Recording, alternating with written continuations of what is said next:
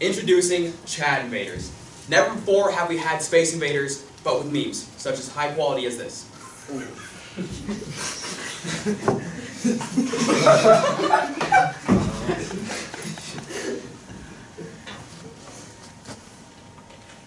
There's no sound, There's no sound at all? This is low quality.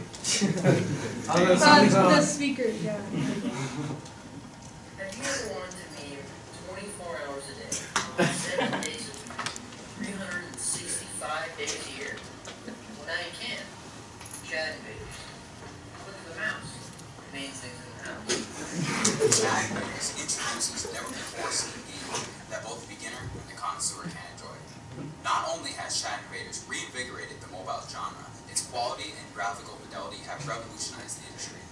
Gameplay features include, but are not limited to, great value, zest, jank memes, thorough marination, and a hearty experience the whole family can enjoy. Call 1-800-CHAD is my dad. 347-6933. Find out 500 games of $6.99 plus $420 and start memeing today.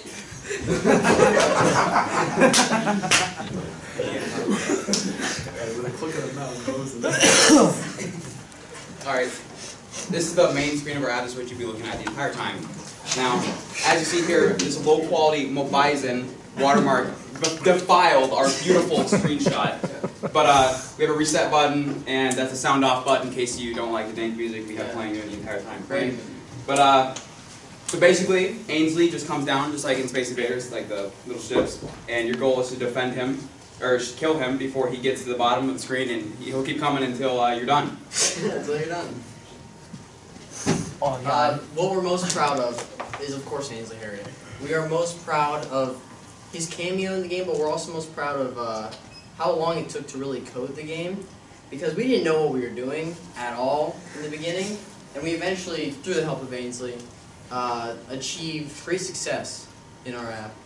I'm also really proud of is a high high pixel density sprite. Oh yeah. Oh, and our music. The music was Oh. in good taste. In good taste. White. Alright, so we had some difficulties from using this, but uh, we slowly overcame those difficulties. However, uh, towards the end of the game, you'll notice how Ainsley is almost lagging across the entirety of the entire screen because the, the engine can't handle his ludicrous speeds. But uh, so that that is a huge difficulty because you'll eventually just lose at about a thousand points because he'll literally just teleport to the bottom of the screen. But other than that, I think our game really came through. And uh, at the beginning, it runs really smoothly. I gotta admit, but towards the end, I mean, mm, mm, mm. Speaking of Sonic Fast speeds, we could have increased the speed even further with a better engine, granted. And we could have added more Ainsleys. yeah, we wanted multiple Ainsley. We wanted multiple Ainsleys. Didn't have enough time, but if we did have enough time, more Ainsley, more speed, better. There it is.